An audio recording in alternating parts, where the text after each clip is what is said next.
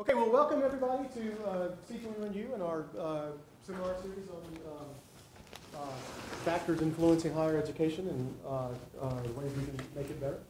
Uh, we're very happy today to have Tom Reeves, who is a emeritus professor at another place um, at UGA. Uh, There's many, many former UGA folks here today. Tom is a renowned speaker, world traveler, multi-book author who's won all sorts of awards, which I was going to read off here. No, don't do It's just a lot of them, I can't remember them all uh, uh, for that. But more than that, uh, Tom was my major professor when I was in the doctoral program uh, at University of Georgia. Um, a good friend, but, but more than that, uh, he also uh, gave me a place to live when I was there. So I, I lived with Tom for a year uh, and, and would have lived longer than that with him, except he got married. And, and one day at breakfast, his wife very politely asked, Steve, where are you going to live now? So I, I realized that, uh, I wasn't living there uh, anymore. Uh, but Tom is always a fascinating speaker. Uh, uh, he's been working for a long time on uh, education design research uh, and also looking at MOOCs and, and their impact around the, the planet. And I don't know where he's going to go uh, with this, but uh, welcome, Tom, and thanks. We're looking forward to it. Well, thanks, Steve. It's always great to be back at Georgia Tech. I come over here every 10 years and get an invited talk. So it's, uh, it's fun, and it's especially fun because I see not just Steve, but other former students uh, here in the audience. So uh, that's fantastic. So I gave a version of this talk uh, two weeks ago as a keynote in Auckland, New Zealand, and uh, this morning I noticed that they had posted uh, my keynote online, the video and so forth. Um, and I thought, well, if I get stuck in traffic, I'll just call Steve and send him the URL and he can play it. But actually, I changed it quite a bit last night, so it's not quite the same thing. But educational design research is, uh, was developed in the early 1990s. Uh, in the United States, it's more often called design-based research, but in Europe, they prefer the term educational design research. And uh, just wrote a second edition of the book, and uh, uh, with Susan McKenney, who's a professor at the University of Twente in the Netherlands. So that's why we uh, adopted uh, that uh, title rather than design-based research. But it's basically this, the same thing.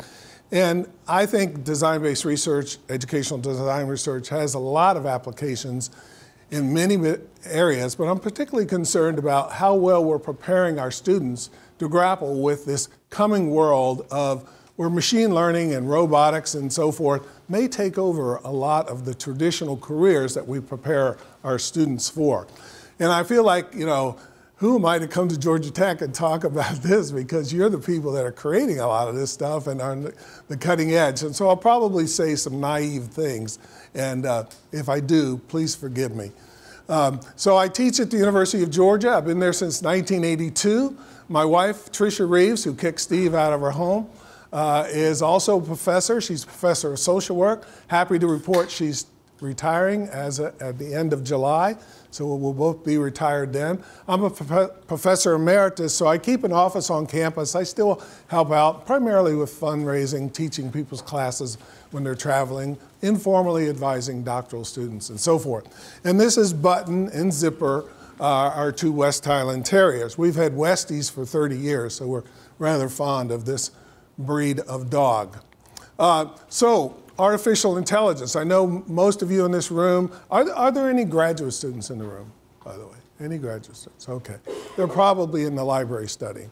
Uh, but uh, most of you have advanced degrees, probably all of you, and you might think, well, you know, this uh, machine learning stuff is advancing rapidly, robots are advancing rapidly. They're not going to, but they're not going to take my job. My job is too sophisticated, too uh, complex for this technology.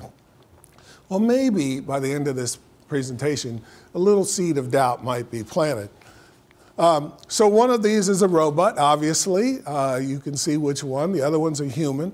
And these are, uh, have been developed by Professor uh, Hiroshi Ishiguro, I'm sure I'm butchering his name, at Osaka University in Japan. And he and his uh, team uh, are promising that they are developing human like robots that will be able to express human emotions. They're promising by within uh, five years to have a robot that will be able to be happy, sad, uh, afraid, surprised, angry, and disgusted.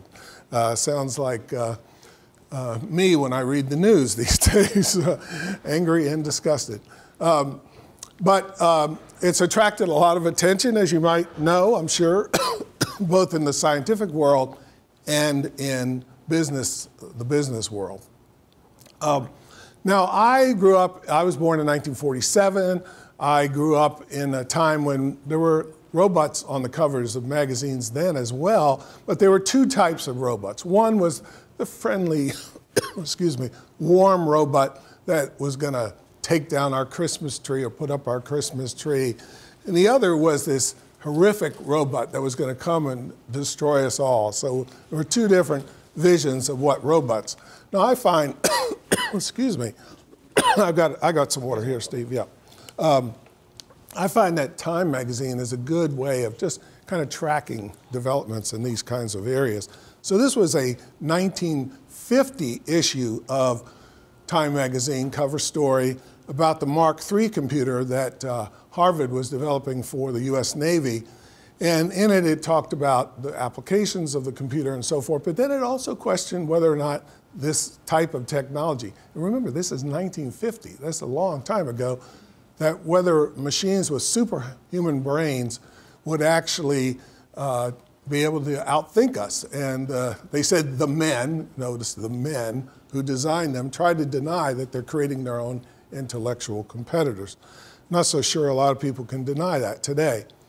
All right, march along about 30 years, and we have the robot revolution featured on the co copy of Time. And this is the one we're probably most familiar with in the sense that robotics have taken over a lot of manufacturing jobs and uh, uh, you know assembly lines. Uh, they said they you know look like uh, giant birds, uh, a row of giant birds doing this work and so forth. Then march ahead another uh, 30 years or so, and you have a special issue in 1915, excuse me, 2015, about the singularity.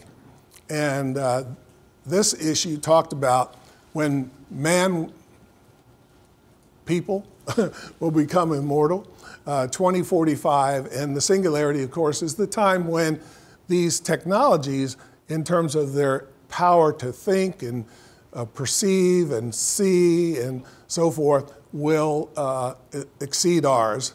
And uh, you know, uh, whether I won't be around to see it, but certainly some of you will. Um, and so there are two visions of the singularity. Uh, one vision is a very utopian vision. People like Ray uh, Kurzweil talk about, uh, hi Colin, see you. Um, and uh, I've never met Colin, but I know him through Facebook. So uh, anyway, um, the uh, utopian vision thinks that we will actually merge with these systems and will become immortal. Then there's the dystopian version uh, that other people write about, our final invention, and that these systems will one day wake up and say, you know, I don't think we really need those humans, you know? Well, let's just uh, annihilate them. We'll keep a few for zoos and uh, experiments and so forth, but we don't really need them anymore. Uh, even the popular press takes notice of these developments. This is a cover of the New Yorker from a couple years ago. And I, I love this cover because, as you know, I'm a big dog fan. And you see this homeless guy, and the robot's tossing a few gears in his cup. And the little dog down there is rather dubious uh, looking at the robotic dog. Now, um, uh, here's a close up of that.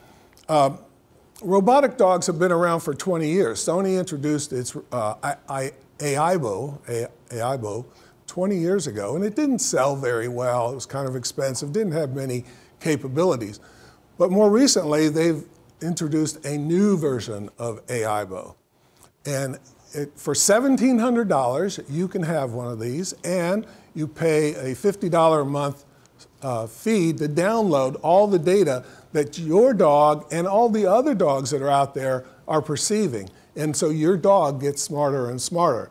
In fact, it was just announced in Japan, they, they have uh, linked up Aibo with a security company. So now your, your robotic dog actually becomes a watchdog. And if there's something suspicious, your robotic dog uh, can uh, inform the police. Scary thought, but. And so, you know, if you, if you know about these things, please don't tell my dogs, okay? Button and Zipper worry enough that we might get a cat. If they thought they could be replaced by a robot, they would really be distressed. Uh, now, what about love in a robot? There's been a lot of speculation lately uh, about, uh, you know, whether or not these humanoid intel- intelligent uh, robots would be lovable, or you could have a relationship with them. Uh, people have written books. The one on the left is published by MIT Press. Uh, robot sex, social and ethical implications, love and sex with the robots. This is another interesting development, and I don't think our ethical or uh, legal systems have really contemplated what this might be. But please don't tell my wife about these developments, okay? I know she won't get a robot dog, but if she knows about this, she, she might think about replacing me. Now, I've been studying learning since 1966. This is actually uh, in, that's me right in the middle there, and at Troup County High School down near LaGrange, Georgia, and I'm putting a rat in a three stage rocket. And um, the, uh, it's interesting, uh, the rat survived, but it was a, a, an experimental design. We had two rats, Julia and Susan, named after the top cheerleaders. And uh, one, they had both been trained to uh, run a maze. We blasted Julia off in the rocket. She was recovered successfully, uh, and we put them both back in the maze. And guess what we found? No significant, differences. And so educational research goes on. But uh, so I have a long history with uh, educational research. Now, 10 years before my experiment with the rats, folks met at Dartmouth College and uh, they actually coined the term uh, artificial intelligence at that time.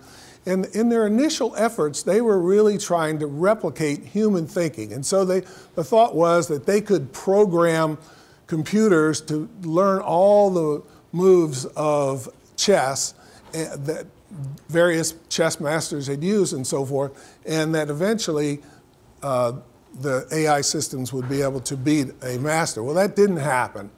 And then uh, they switched the, uh, how the, the approach, and so they developed what are called deep learning approaches. And again, I know you know way more about this than I do, but basically the notion is that rather than teach the AI systems everything that humans know, let the systems learn on themselves. And so they basically let Big Blue, the IBM computer, play millions and millions of chess games and develop its own expertise as a chess player. And we all know that a few years later, uh, Garry Kasparov, the then chess champion, was defeated by the Big Blue computer. More recently, the same uh, type of system developed uh, was developed to beat the world master in the game Go, which is infinitely more complex than chess. So uh, lots of uh, developments in this area.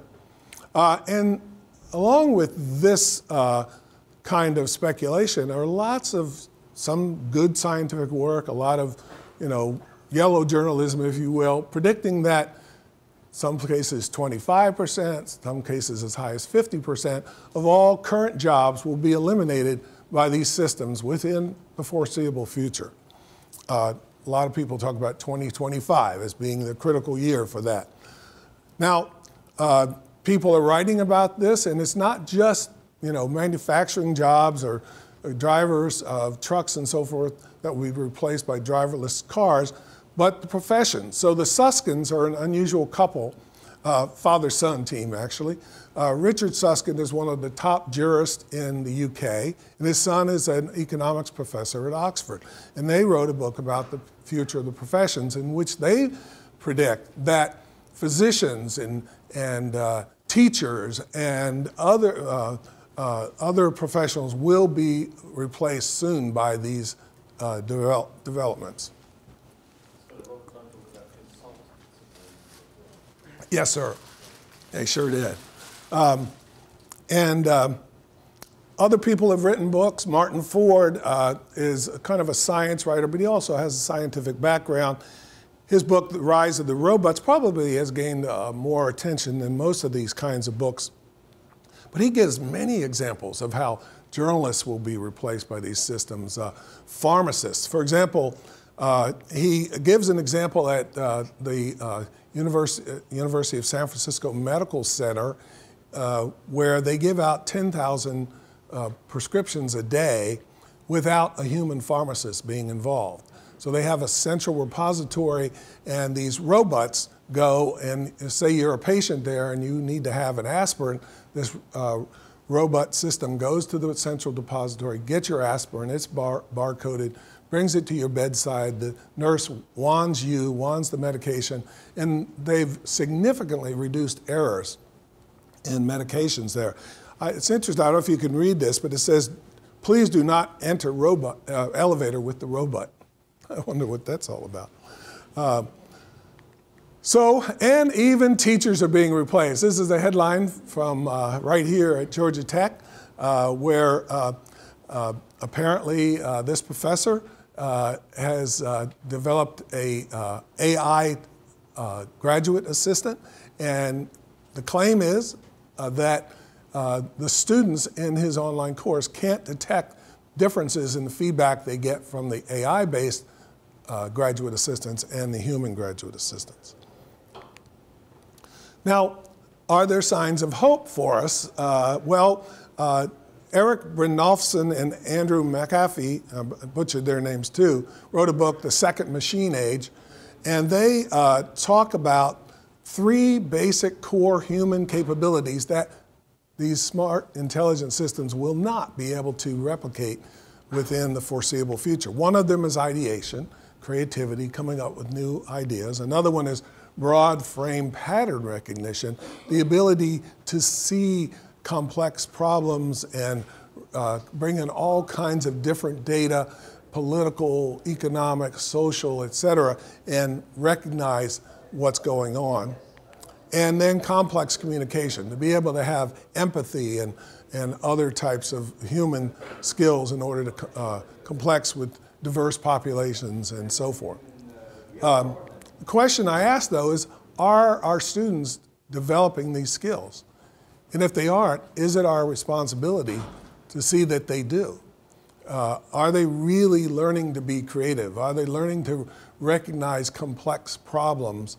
Uh, are they uh, able to communicate clearly in multiple forms of communication with empathy and care and so forth? Uh, it's an open question, I think. I was mentioning that I, have done some work at the Air Force Academy, and uh, they uh, are very concerned there that uh, their cadets, who may graduate with an almost perfect GPA because they want to become pilots more than anything else, uh, aren't learning these things. And so they're trying to develop new programs to help them develop these skills. And so what is the, how could educational research play a role here? Uh, educational research, particularly educational technology research, my field, doesn't have a very good track record when it comes to addressing these significant real world problems. What's the number 1066 mean to you? William the Conqueror, invasion of Ding, thanks for playing. yes the Battle of Hastings, but it's also the number of educational research journals that are published. 1,066 educational research journals that are ranked by uh, SJR. Um, that's a lot of journals. In my field, educational technology, there are scores of journals. I used to be the editor of one of these uh, journals. I uh, review for uh, most of those at various times, and uh, so we keep pumping out lots and lots of research, but is it really having an impact and is it addressing the fundamental problems of education today? The cases for that isn't very good. Uh, there's too much research on things. Every time a new thing comes out, it's going to revolutionize education. And you know, uh, these days it's 3D printers or virtual reality, wearable technology, mobile learning, iPads, et cetera, et cetera. Every new technology is really predictable that when a new technology is introduced, and they always come from outside education, they're tossed over the walls of the classroom and they're supposed to revolutionize teaching and learning. We don't have much research on problems. What are the problems that we face? Lack of student engagement, lack of intellectual curiosity in our students, un underdeveloped creativity, weak communication skills, et cetera, et cetera. You know, these are the problems. All of our research should start with a focus on problems, but unfortunately, it doesn't. Uh, here's an example of the type of research that gets published. And uh, this was a doctoral dissertation done in 2015, got published in EDUCAUSE Review, uh, paper or tablet, reading, recall, and comprehension. Okay, so remember my experiment with the rats in 1966? This really isn't very different. Um, and so what they did is they conducted this study at the uh, Coast Guard Leadership Development Center. And it was an experimental study, the gold standard for educational research, according to some. Uh, 231 students were randomly assigned to either a digital tablet version of a reading or 100, 112 students to a paper version. The reading was an 800 word leadership article. It wasn't even aligned with the course they were in, uh, the uh, people that were in this course. Uh, the treatment time for this experiment was less than 10 minutes. Uh, they had 10 multiple choice questions, pre and post test, to measure recall, and two short essay questions to measure comprehension. And Steve, what did they find? No significant differences. No significant differences. Why did they even do this study? How was it approved as a PhD dissertation at a land uh, a, a, a, really good university. I won't say which one. University of Connecticut. No, I didn't say that. Um, but how was this approved as a doctoral dissertation? But it was, and it was published. Uh, and this goes on. This goes on. This was a headline just from last month. Uh, in, uh, this study was done at Cornell, another good institution. Study finds no difference in virtual reality learning outcomes compared to other modes. What did they do? Experimental study. A third of the students were assigned to a hands-on activity to learn about the phases of the moon. A third of the students took a traditional computer-based simulation program about phases of the moon. And a third of the students used this VR program about the phases of the moon. And you guessed it, they found no significant differences. Um, why do we continue to do research like this? Well, this is where our book comes in.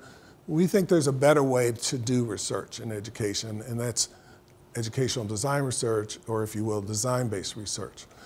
So how does it start? First and foremost, it starts with the identification of a serious problem. Students aren't engaged. Students aren't uh, developing intellectual curiosity. Students aren't developing creative skills. They don't think of themselves as creative. Whatever the really big problem is. And then close collaboration with practitioners, teachers, faculty, others who own this problem, an important pedagogical challenge. Then you create a prototype solution to meet this problem, this challenge, informed, excuse me, by the best possible theory and by the best possible practice. You want to emphasize content and pedagogy rather than technology alone. In fact, it may be that through the process you find that technology really doesn't have a role here. We have to change something else, maybe the assessment procedures or whatever.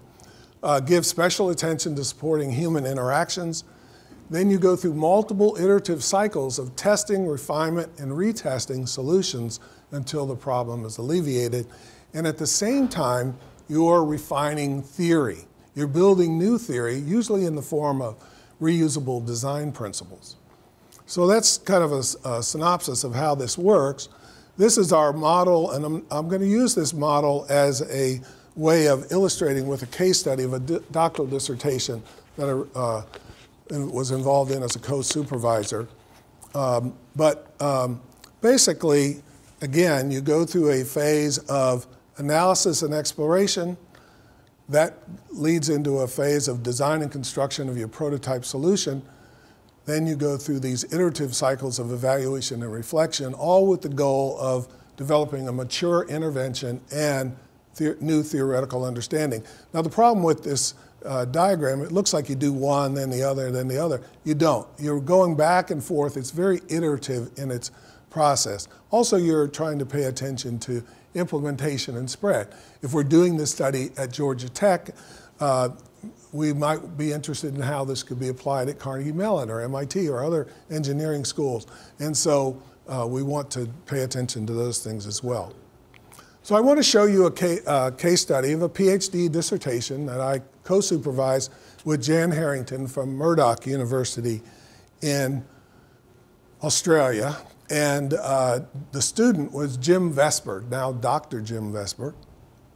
And uh, we, uh, Jim, I'd known Jim for many years. He's one of the world's experts on good manufacturing practices for pharmaceutical vaccines and other perishable pharmaceutical products. He's written books on it. He's a very uh, a keynote speaker all over the place, but he didn't have a doctorate. So one time I was talking with Jim, and he said, "You know, I really would love to get a PhD, but I can't afford to go back to school. And you know, I've got my own company. I've got too many uh, commitments and so forth." And I said, "Well, you know, you could do your dissertation by research only through an Australian university." And I'd spent a lot of time in Australia, about two years all told. And I'd worked with Jan Herrington for many years. We had written a book together, and, and uh, I'd spent five months working with her in Western Australia. So I knew about her excellent uh, supervision skills. So I uh, introduced them, and Jim decided to do his dissertation with her, and I was the co supervisor.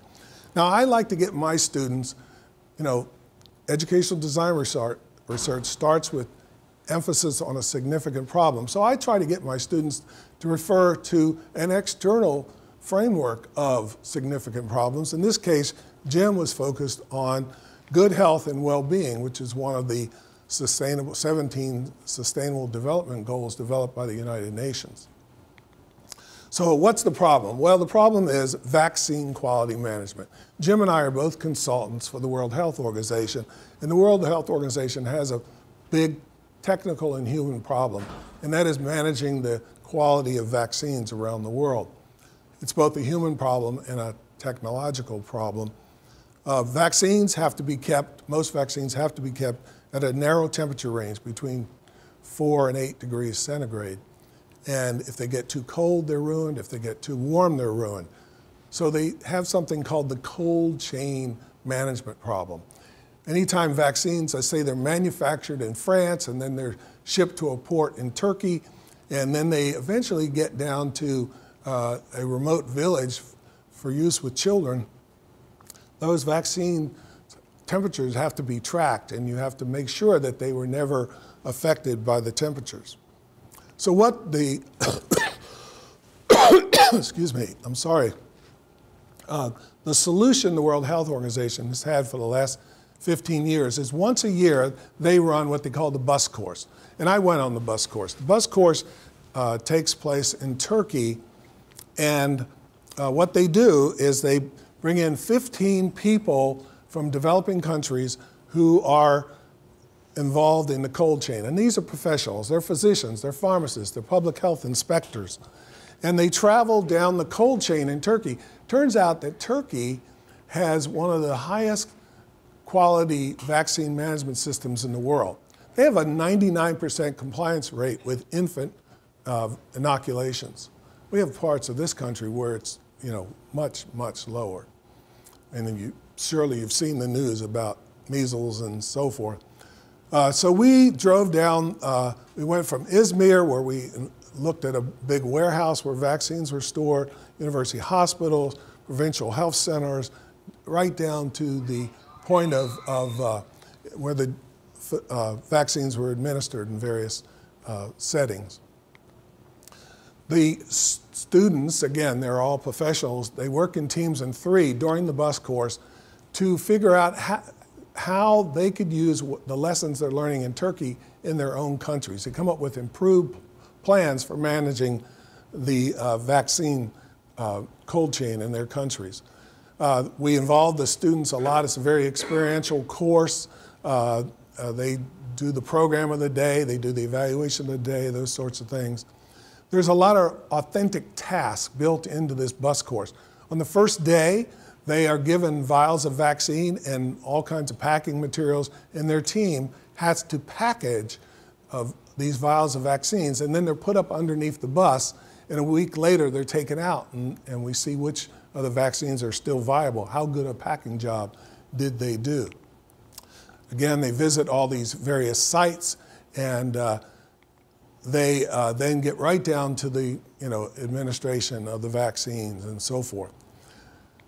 Um, so the problem was uh, that only 15, the WHO can only afford to do this once a year, and um, they need, there are hundreds, if not thousands, of people who need this course. And so the problem uh, became, well, how could we enable more people to do this? And the obvious answer was an online course. Now, when I first broached this, I'd written a book called A Guide to Authentic E-Learning, and uh, when I first broached this with the WHO, they said, well, we can't fit a bus on a computer screen. Well, that's what we set ourselves out to do, and this is the context for uh, Jim Vesper's PhD dissertation. So here's our little model up here, um, and um, I'm going to go show you uh, what you do during these phases. So the analysis and exploration phase, you do a lot of the traditional things you do in any PhD study. You do a literature review and uh, orientation to the problem. You consult with stakeholders, do various field-based investigations. You're also doing exploration of the best possible practice in this area, site visits, professional meetings, networking, et cetera. And uh, so um, then, um, uh, so we had lots of meetings around the world. Uh, this was a meeting, we actually rented a house up at Lake Lanier, and we brought in some of the world's experts on cold chain management. This uh, gentleman uh, is from Chicago. He's one of the leading experts on cold chain management. This gentleman's from London. He's from the World Health Organization in uh, Geneva. And that's Jim, my student, and myself. And we spent days just you know, brainstorming and, and figuring out how could we put this experiential learning course the bus course online. Then, and again, I'm jumping really fast, but you go into a phase of design and construction, and you're exploring solutions, mapping solutions, creating prototypes, and so forth. This is the kind of bread and butter work that you do here all the time. Um, and so we would meet again in various places. This is a meeting in Turkey uh, where uh, Umit uh, is a physician at the WHO, kind of the brain behind this uh, bus course. Um, myself, Jim, the doctoral student, and uh, a fellow from a company called Apella in Turkey that ended up programming our online course. And again, we spent days and days hammering away at identifying the objectives, the feasibility of doing various things in the course, and so forth. Uh, we used uh, a, the book I mentioned earlier that Jan Herrington and Ron Oliver and I wrote called A Guide to Authentic E-Learning. And this book has um, nine critical factors that should be in any online course. And so I'll use these just, uh, factors to, these design principles to illustrate this course that we developed. So, authentic context and task. The students in this course play different roles. It's a, we converted the one week bus course into a 12 week online course. Again, the learners are professionals in developing countries. They spend the first seven weeks in the course experiencing the simulated problems that they would have experienced if they had been on the bus. The last five weeks of the course, they actually work with developing the public health agencies of developing countries as consultants to help them address real world problems in the cold chain. So they take on realistic roles, uh, deciding if a vaccine has been affected by freezing or not, real world tasks. Uh, uh, and uh, tasks like which vaccines could be used first. Other problems like, uh, oh, uh, you've got to get these vaccines to this regional health center, but your refrigerated truck is broken down. How are you going to package these vaccines in order to get them there safely? The, students work in three person teams again to solve these, come up with their solutions, and so forth. So, authentic context and task. And we really tried to address the higher order uh, parts of the uh, cognitive uh, uh zone of uh, various types of outcomes. So, rather than just lower order ones, um, remembering, understanding, applying, we really try to get into analyzing, evaluating, and creating solutions. Um, and then working with real clients. Again, the last five weeks of the course, they work with, as consultants, to real countries. Uh, we use Albania sometimes, we use uh, several sub Saharan African countries. They submit their challenges, then these professionals work to help them address their problems. They, in the course, they have access to lots of expert performances uh, on various topics like thermodynamics and, and uh, improving access and so forth.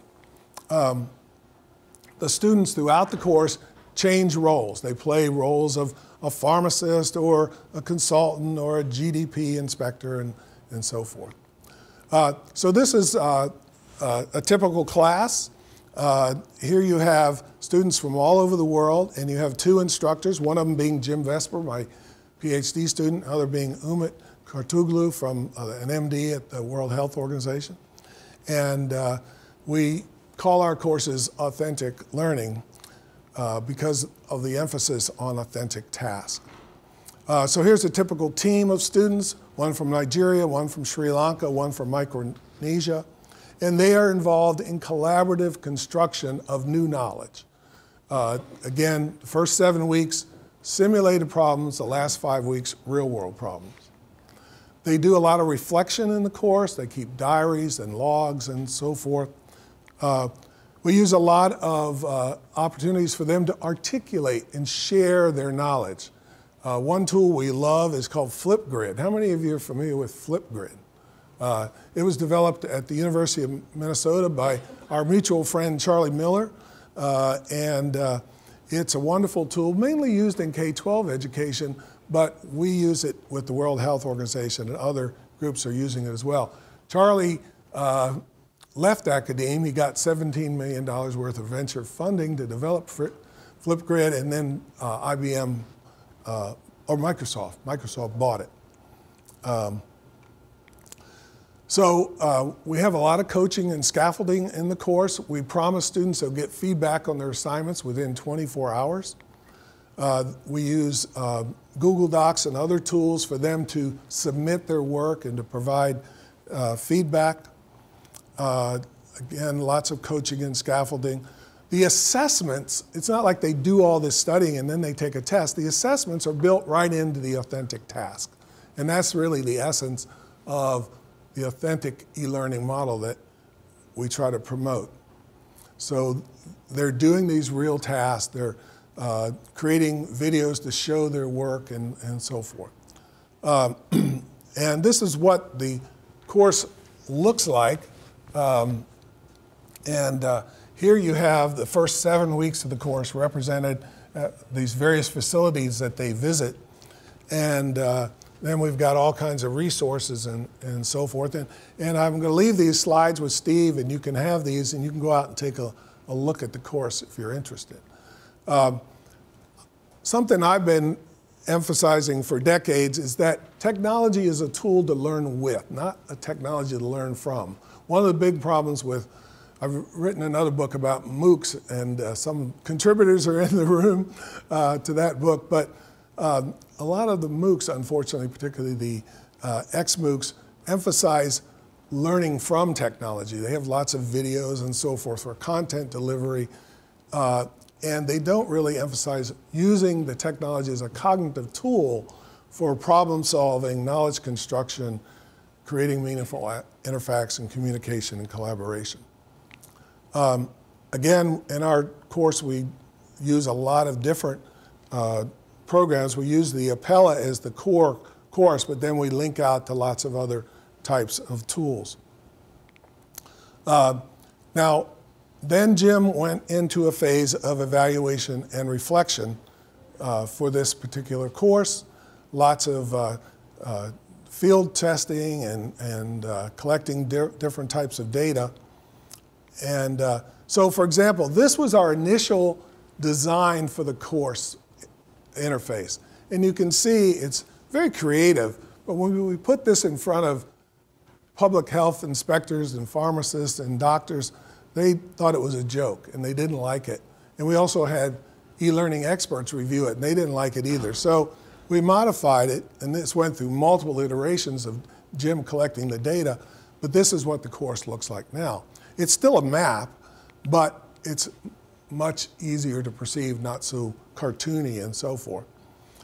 Um, another uh, thing we found was that uh, these learners who are professionals in their own right, collaborative learning is new for most of them. And so we really had to nurture collaborative learning. We built in lots of games in the first couple weeks of the course and other things where they could form bonds and, and uh, uh, build good collaboration.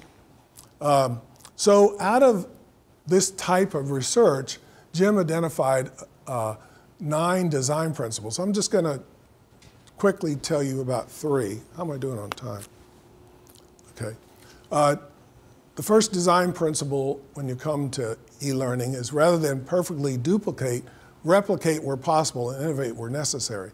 So, for example, I mentioned that in the bus course, we had them pack vaccines on the first day, put them underneath the bus, and then at the end of the week, they take them out and we see which ones are still viable.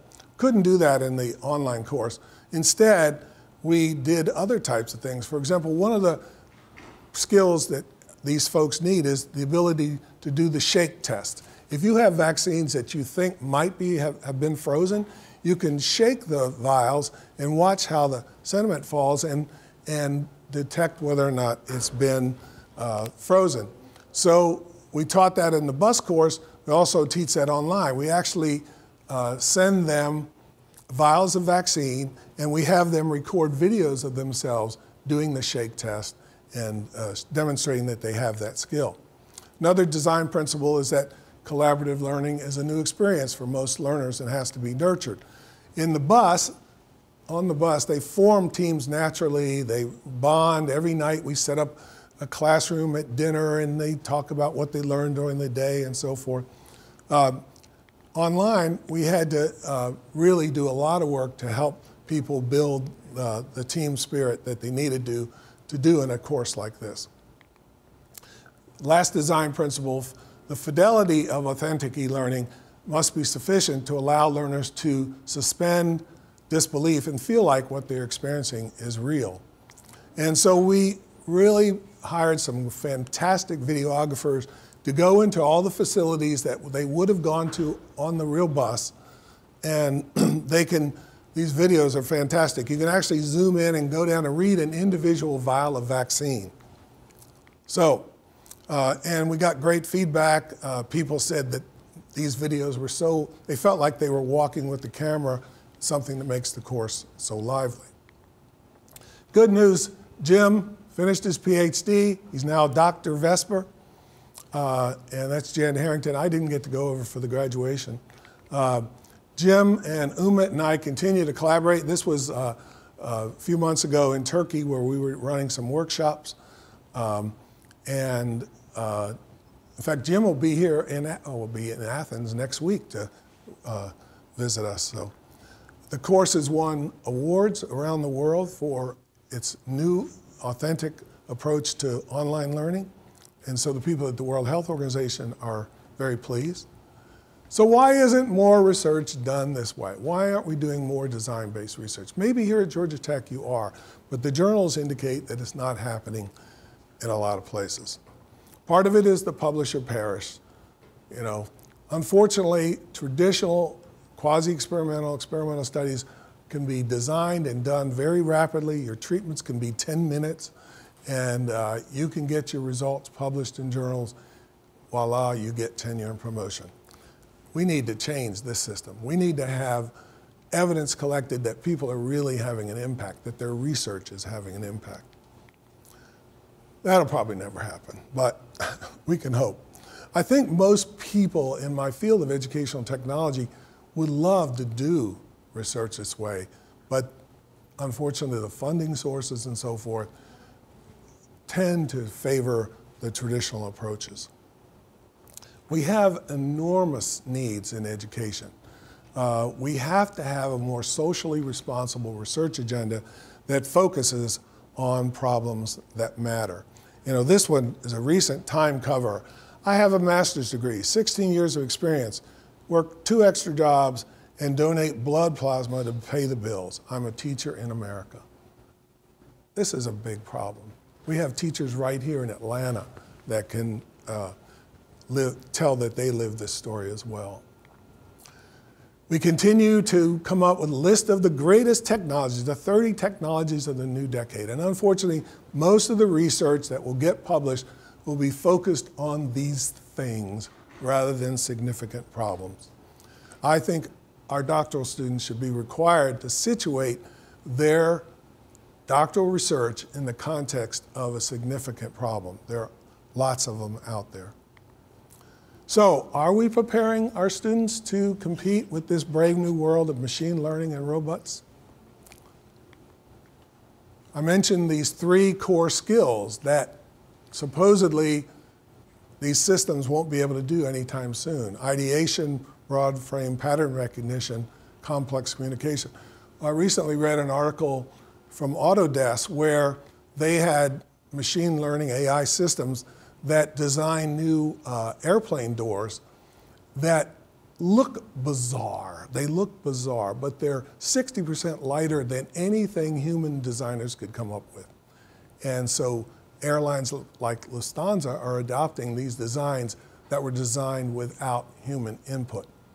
Um, so maybe ideation is going by the by. What about complex communication? You probably saw this story uh, last month where IBM sponsored uh, a debate between the world's best debater and their system.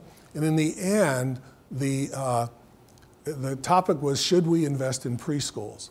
In the end, the human uh, judges voted that the human had won the debate. But when they actually asked people in the audience, they said that the machine learning responses gave them more information about the significance of the problem. So maybe it won't be too long before these systems can win debates as well. It's happening fast.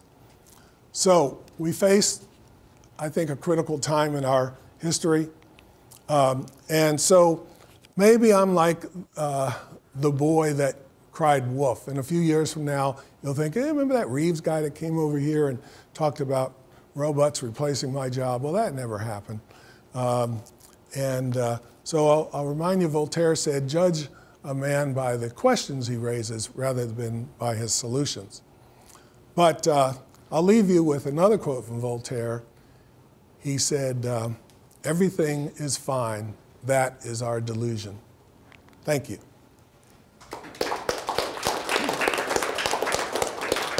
So we have time for some questions and comments, and I think we've got nine minutes. Nine minutes.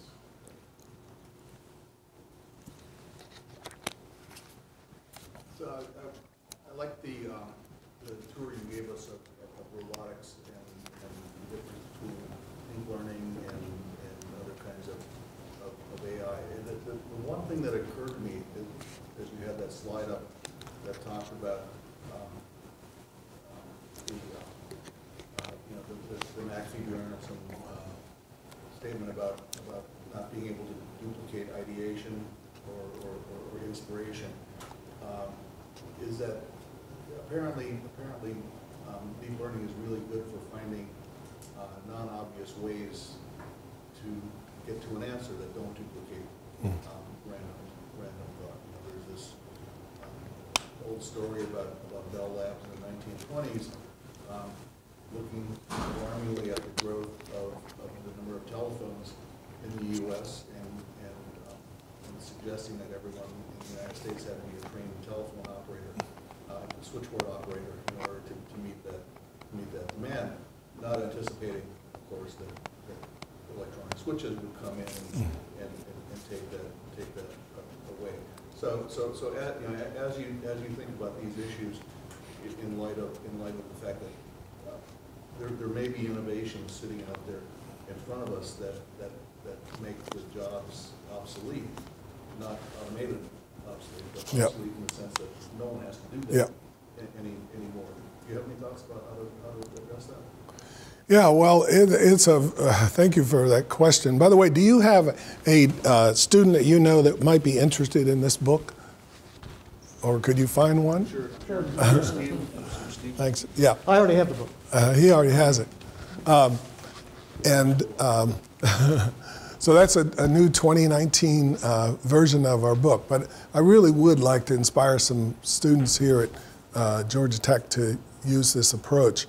Um, but um, I think that um, you know there is this one theory is that as these new jobs are, or old jobs are taken away by advancements in technology, that they'll be replaced by new jobs, and that has happened quite a bit. But um, it seems to be turning now. And you know, for example, I was in South Africa a couple years ago, and everybody in South Africa is learning to be a web designer. Uh, and that's well and good, but uh, you know, my wife teaches a course uh, at UGA about the human animal bond, and one of the assignments for the students is they have to design a website that reports about a really strong relationship between a human and an animal. Well, they use programs like Wix and Weebly and so forth. They don't need web designers. They come up with beautiful designs.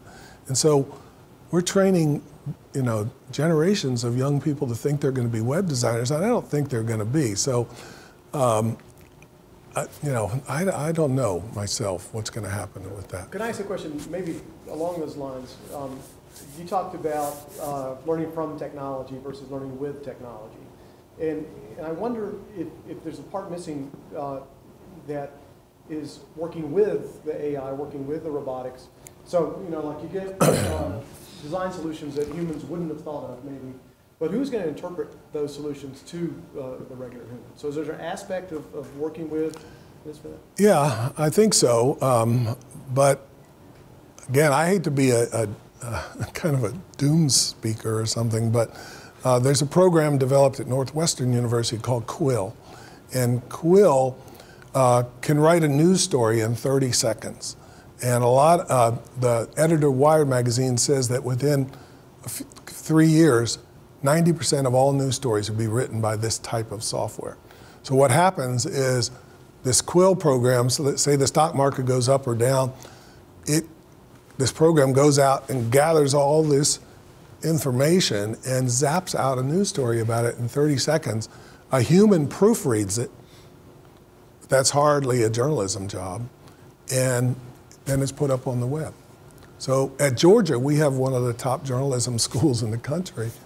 Are we preparing people for obsolete, obsolete uh, future? I don't know.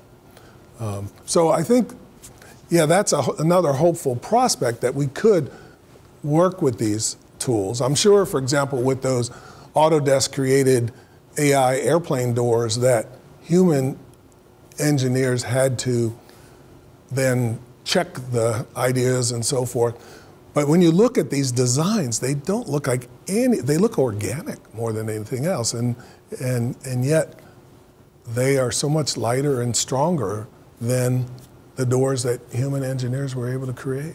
So. Yes, sir.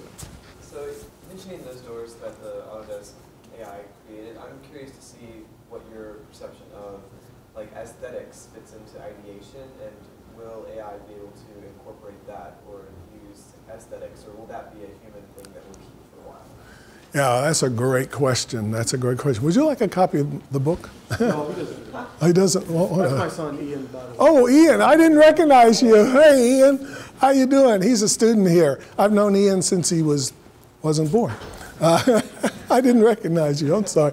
I thought, well, he's young, because I had earlier asked her if there are any students here, and nobody raised a hand. Okay, that's okay. Um, well, that's a great question, Ian.